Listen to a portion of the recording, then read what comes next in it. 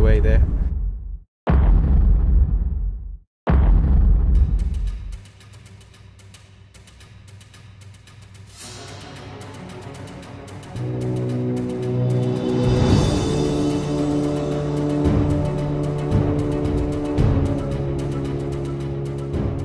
The hobby that we just picked up from the, the people who found it at Chadwick Lakes unfortunately has just died.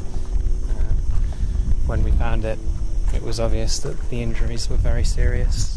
It looked as though it had been there for some time. We will still take it to a vet who will perform a post mortem examination to try and ascertain the cause of death. A vet's examination revealed lead in the bird's body. Hobbies are agile hunters preying on insects, small birds, and bats. Catching the perpetrators of this crime is impossible, and even when the evidence is fresh, it is more than difficult. Raptor Camp volunteers go out in small teams of three to five. They may have two cameras.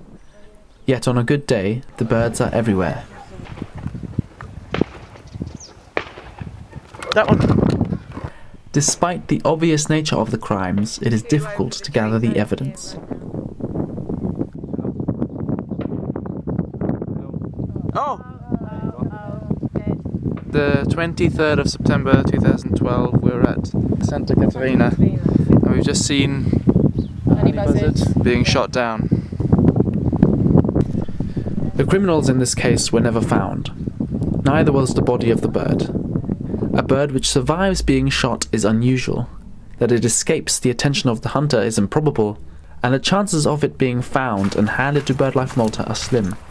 But there are some extremely lucky ones. We have a, a night heron that was recovered by a member of the public in Marsaskala. It's juvenile, it's quite small in comparison to the adults.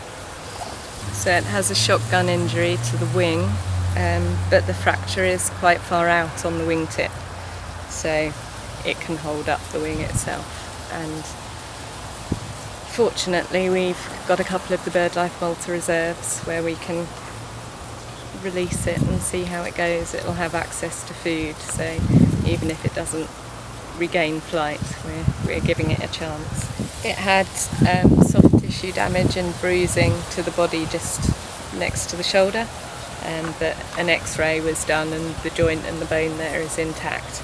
It should be able to function and find food, find food with that injury. It probably won't be able to leave the reserve, but there are night herons found here, so hmm. it's nice to, to give it a chance.